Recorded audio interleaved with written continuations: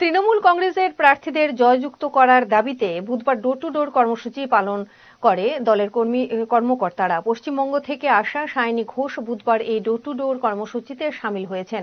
তিনি বলেন, রাজ্যের মানুষের অসীম ভালোবাসা রয়েছে তৃণমূলের উপর। মানুষ তৃণমূলের প্রার্থীদের ভোট দিয়ে জয়যুক্ত করবেন বলে আশা ব্যক্ত করেছেন তিনি। মমতা ব্যানার্জি গোটা পশ্চিমবঙ্গে যেরকম সারা পেয়েছে, গোটা নর্থ ইস্টে উনি ওরকম সারাই পাচ্ছেন। এবং ত্রিপুরাতে আমরা আগেও এসেছি। এবং মমতাদির জন্য সবার একটা অত্যন্ত ভালোবাসা আছে, একটা বিশ্বাসের জায়গা আছে। এবং আমরা যতবার ত্রিপুরাতে আসি, মানুষ আমাদেরকে বলে, দিদি এবার থাকার জন্য আসবেন, আসার জন্য আসবেন। না।" এবং আমরা সেই চেষ্টাই করছি। মানুষের অভূতপূর্ব সারা।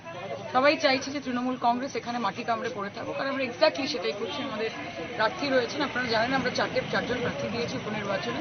আমরা খুবই আশাবাদী যে ত্রিপুরার মানুষ ঠিক যেরকম মিউনিসিপ্যালিটি ইলেকশনে আমাদেরকে এত নতুন আমরা তিন মাসের সংগঠন করে যেমন কুড়ি শতাংশের উপর ভোট পেয়েছিলাম চব্বিশ শতাংশ ভোট পেয়েছিলাম আমরা আশা করছি যে এবারও ত্রিপুরার মানুষ আমাদের সঙ্গে থ্যাংক ইউ